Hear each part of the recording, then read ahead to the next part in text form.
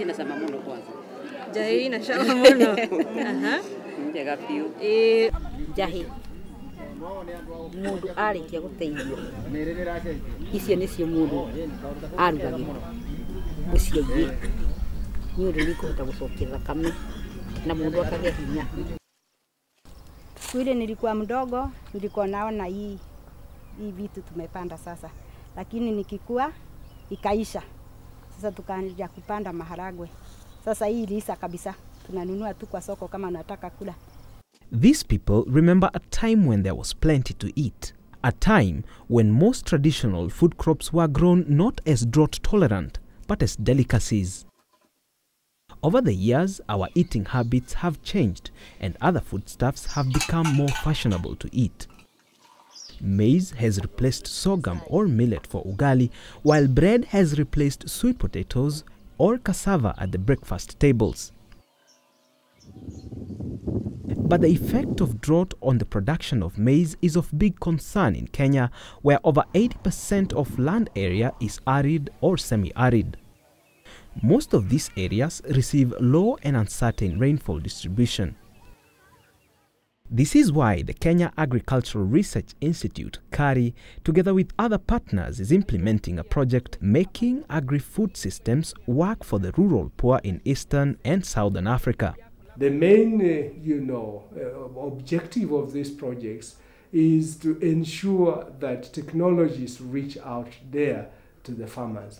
Technologies mainly that the technologies that can, can, can actually resolve the problem, particularly uh, the drought tolerant crops that uh, KARI has been developing over the years. Through participatory processes, crops that counter food security in the study sites were identified as cowpeas, dolichos, green grams, lima beans, pearl millet, pigeon peas, pumpkins, sorghum, sunflower, and sweet potatoes. So our strategy here in the region is basically to support research that uh, will help farmers uh, to improve production, basically working at innovation, technologies that improve productivity, uh, issues of around uh, seeds, for example, varieties, uh, planting methods, agronomic practices. But also, we also need to understand the market opportunities for such crops. What is a common feature in the three sites? We selected the three districts because we wanted to have areas of high vulnerability and food insecurity, that is Mbere South, to areas of medium level food insecurity where communities actually have enough food, but in some times of the, e- of the year, the resilience is going down, that is Kirinyaga district. And an aspect of the higher altitude areas, which are generally believed to be food secure, but we find we have pockets of communities who are actually food insecure in those districts, and that is the area represented by Ndaragwa division of Nyandarua North District. Fewer initiatives have prioritized important traditional crops of high value, otherwise referred to as orphaned crops. Yet these are locally important for food and household nutrition and provide income opportunities for the most vulnerable and women in particular.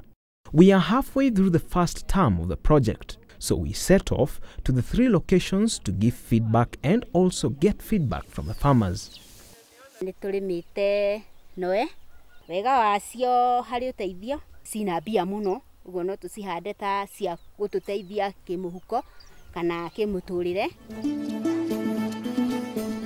On the second day in each of the districts, we held a feedback workshop where all partners and the researchers had a chance to interact with the farmers. The farmers also provided useful inputs into the research process. Through this, farmers were involved in the development of indicators. We finished off with tasting of different foods prepared either the same way or differently. It is our hope that the successful implementation of this project will definitely contribute to improved agricultural productivity, enhanced food security, and accelerated pro poor growth.